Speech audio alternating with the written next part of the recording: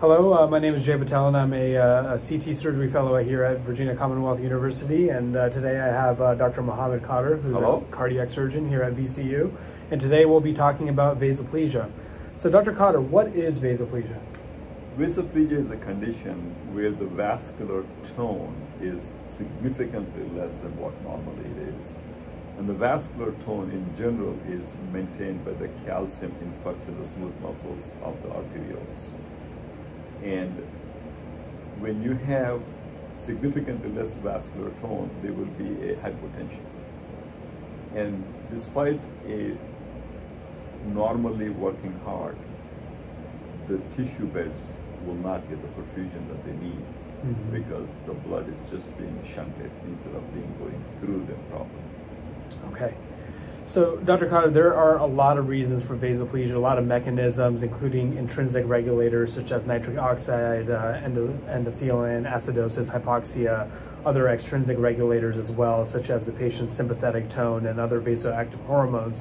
What are the, the causes that, that drive uh, these homeostatic mechanisms to dysfunction? What are uh, the most common causes that you see for vasoplegia? So for the cardiac surgeons, the most common is the cytokine development on the heart lung machine or through the patient's primary etiology, for example, endocarditis or dissection. These conditions generate so much of cytokines that they completely change the balance at the molecular level on the endothelial cells, Mhm. and that leads to complete vasoplegia. Okay. Okay. And um, uh, what are certain uh, additional risk factors, would you say, for vasoplegia that a patient may have that makes someone more prone to developing this postoperatively? Absolutely. One will be a prolonged cardiopulmonary bypass time because the longer that you are on the heart lung machine, the more amount of the cytokines that the body will generate. Mhm. The other one being the primary etiology for the surgery, as I mentioned, dissections, patients who have endocarditis, patients who have been on the left ventricular assist device for the reasons that we have not understood very well, Mhm. also manifest profound vasoplegia once they go on the heart machine. And patients who are septic for any reason Mhm. also are a high risk category. Besides this, there are also some preponderance for the males and older age patients manifest vasoplegia. Got it. Interesting. Okay. So, um, how does a patient who is developing vasoplegia or vasoplegic shock, how do they present? What sort of hemodynamic uh, uh, um, parameters are you looking at to come to the diagnosis for this? So first parameter that you see on this patient is they will be hypotensive. And if you look at the cardiac performance, the heart, if it has a normal heart function, will be hyperdynamic. And if you do measure the cardiac output, it will be hyperdynamic. However, if you measure the peripheral vascular resistance, it will be extremely low. So a combination of a normal working heart with decreased heart, decreased cardiac, sorry, decreased uh, blood pressure and a higher cardiac output is characteristic of uh.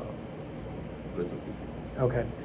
Uh, no, that's great. And um, I can imagine it's probably very difficult in a fresh post op cardiac surgery patient who may have depressed heart function at baseline to try to tease that etiology from vasoplegia.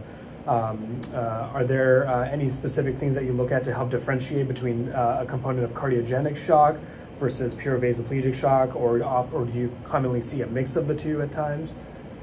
It is very possible to see a combination of them, but a Mhm. quick way to differentiate is to get a bedside echocardiogram that will give you two critical information pieces. One will be what is the function of the heart, how is the left ventricle, right ventricle is contracting, Mhm. and if you had worked on the valves, it can give you an idea about functioning of the valves. And the second thing it would rule out is any tamponade. Okay. And once you Mhm. rule those two things out, then you go on to use your pulmonary artery catheter derived numbers to see what is the cardiac output, Got it. low versus Mhm. high. So once you have a normal heart function, no tamponade, and a high cardiac output, and a significantly low blood pressure, that's the vasoplegia. Got it. Okay, thank you. And lastly, Dr. Quader, how do you treat vasoplegia? First, you need to replete the intravascular volume because now you have so much of more space in the small blood vessels in the body.